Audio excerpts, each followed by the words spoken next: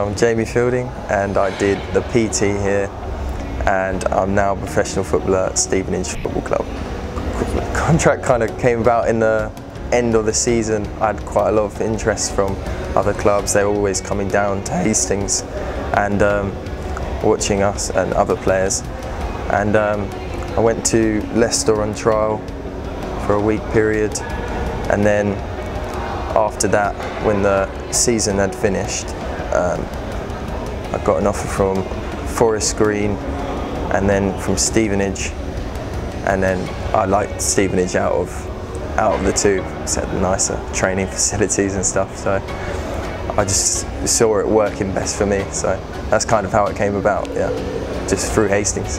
They're great people here. Um, really nice you know people to be around. They don't you know put overly amount of pressure on you um, but the right amount to keep you going.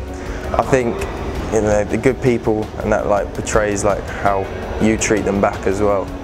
Um, see if someone's being nice to you, you're going to be nice back, and then you want to learn. There, I mean, at Hastings, you know, you've got a quality like fan base and um, quality ground. Pitch is like really nice. It's up there in the league, so no, I think the main difference is it's just a professional club. Everything's just a, a step above. Um, which you would expect to be honest. What would I be doing if I wasn't doing football?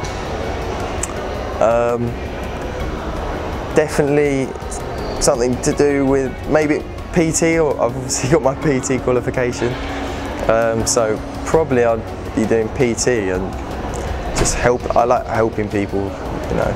I, I just like help, helping people. To be fair, like um, if it's going to be like motivationally or through helping them train. You just got always believe you can do it to be fair and um, just don't let anyone tell you you can't to be honest because I had a lot of that but you just got to keep keep going.